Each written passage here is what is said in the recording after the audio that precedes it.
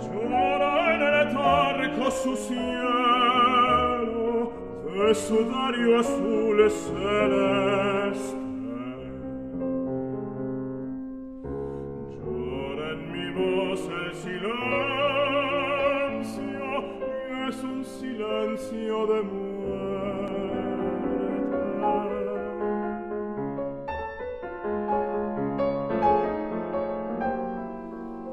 Oh niebla de madrugada. Solo un plumón, solo un nido y una congoja sin alas. Nadie empuja el horizonte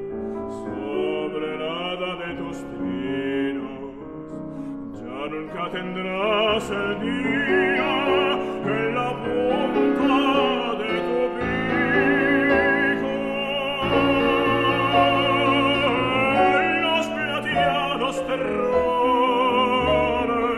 o villa gris ha caído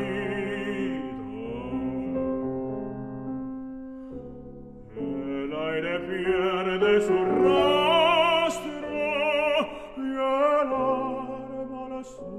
preferire